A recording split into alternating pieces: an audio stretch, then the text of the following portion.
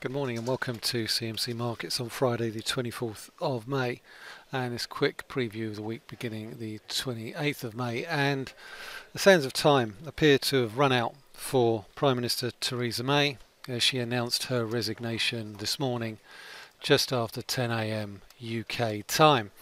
Um, she'll be gone by the 7th of June in the wake of or in the wake of the departure of President Trump uh, back to the United States and in the wake of the 75th anniversary of D-Day commemorations. And it's been a long time coming for the Prime Minister. It's become apparent quite some time ago that she would probably be very fortunate to get her withdrawal agreement through the House of Commons and the last straw came earlier this week when she tried to tag on the end of it a confirmatory referendum which pretty much caused the Conservative Party to erupt in unified fury against her. But in outlining the terms of her departure, it doesn't change the overall mathematics of the problems currently facing UK MPs. Anyone hoping for a quick resolution is likely to be disappointed. And with the European elections this week and the Conservative Party and the Labour Party likely to be very big losers in those European elections, it suggests that uh, the divisions within the country are likely to remain as wide as ever and could well complicate matters in the event that the UK applies for an extension ahead of the October deadline. Um, I think in terms of where we go to next, it's going to be very uncertain in terms of who becomes the next Prime Minister. First and foremost, Boris Johnson has to make it on the ticket um, to actually get put forward to Conservative Party members, and given how he is perceived by some members of the Conservative Party, that is by no means guaranteed.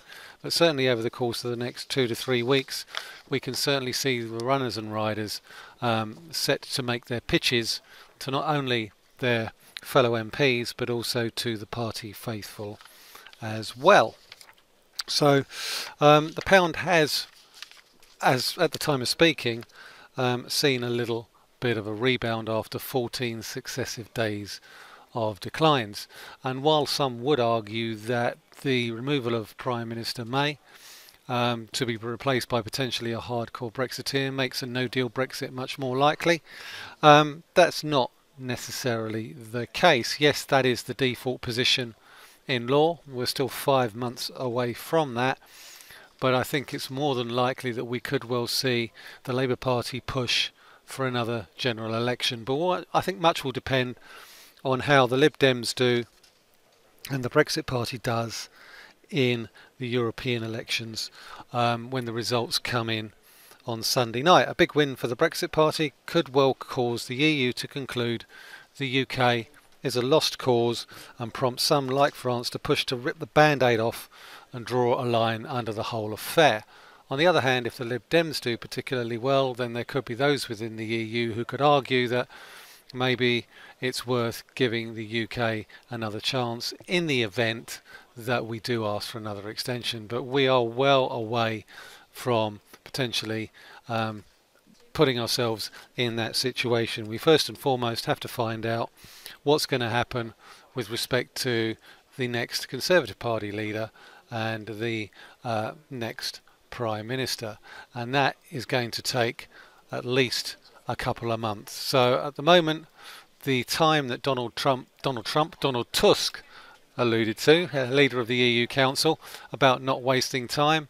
Well, it looks like we're going to continue to waste time for at least another two months. What does that mean for cable? Well, we can see from this chart here that we are approaching the lower end of the recent range. So there's big support around about the 125 area. At the moment, we're we've we've declined for 14 days in a row. We're coming up to a long weekend. We potentially could be finding a little bit of a short-term base around about 126. I think much will depend on the weakness or otherwise of the US dollar. And certainly over the course of the next week or so, there's not really that much in the way of economic data or political risk to really drive the pound one way or the other. If we also look at euro sterling, what we have seen is a significant break above the 200 day moving average.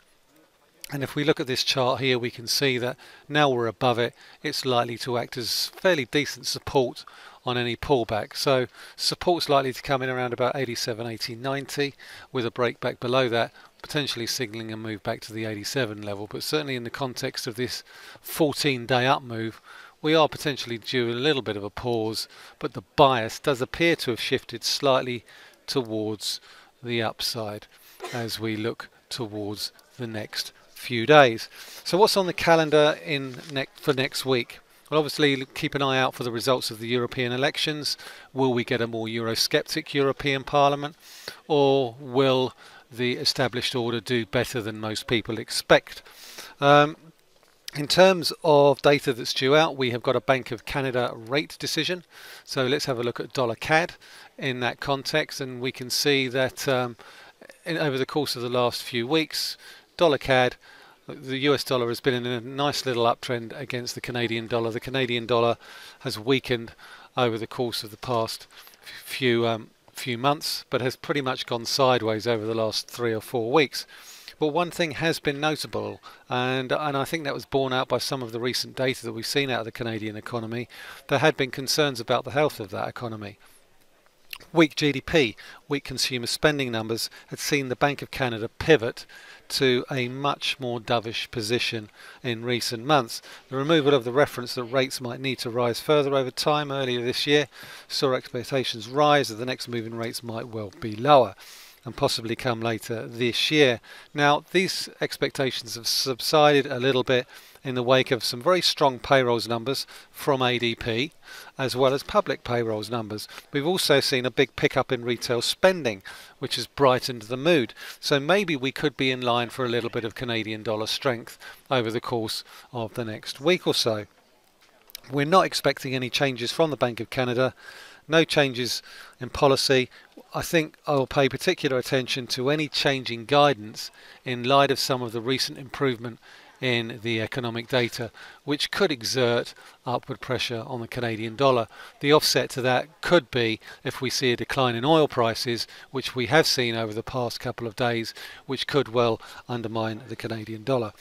Other data to keep an eye out for in the coming few days is Chinese manufacturing and non-manufacturing PMIs for May.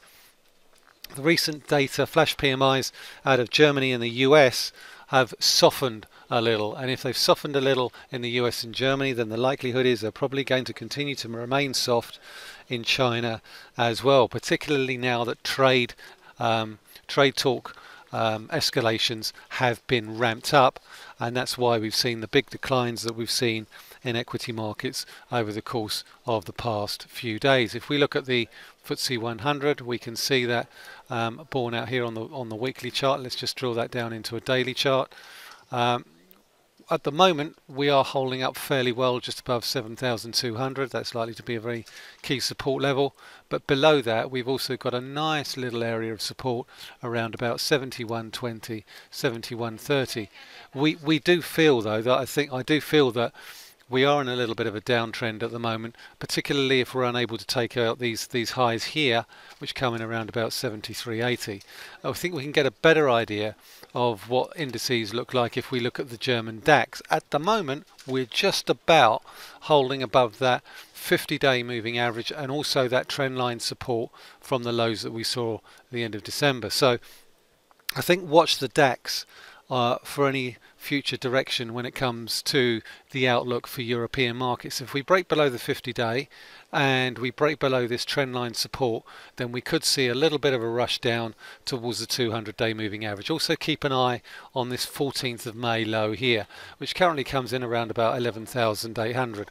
So we've got a whole host of support areas coming in just around about just below the 12,000 area but if we break below 11,800 then we could will see further heavy declines going forward. Um, other things to keep an eye out for this week it's fairly light in terms of the earnings picture. We do have US first quarter GDP on the 30th of May. This will be a revision to the 3.2% expansion number that we saw a month ago. So I don't expect too much of a revision there that is really not likely to move the dial that much. We have a whole host of earnings and announcements out from Abercrombie and Fitch, Dick's Sporting Goods, Dell Technologies, The Gap. So in terms of US retail, it's likely to be a big week for US retail, um, particularly looking at the online sales numbers. So, so that's it for this week. Thank you very much for listening. It's Michael Hewson talking to you from CMC Markets.